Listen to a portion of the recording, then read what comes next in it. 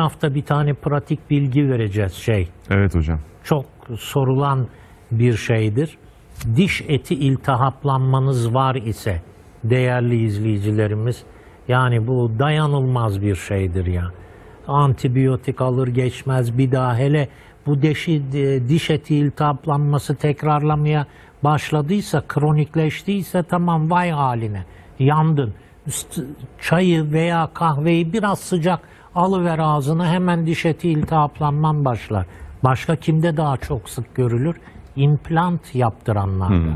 İmplant yaptıranlar e, bir yıl veya ikinci yıldan itibaren sık sık yılda birkaç defa diş eti iltihaplanmasıyla karşı karşıya ve can sıkıcı bir şey.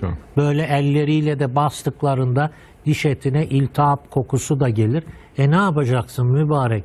Ya Rabbi kemer keremine sonsuz şükürler olsun. Nar suyu. Bak şimdi nar suları cam şişelerde satılmaya başlandı. Yüzde yüz nar suları. Bundan alacaksın bir yudum ağzında beklet.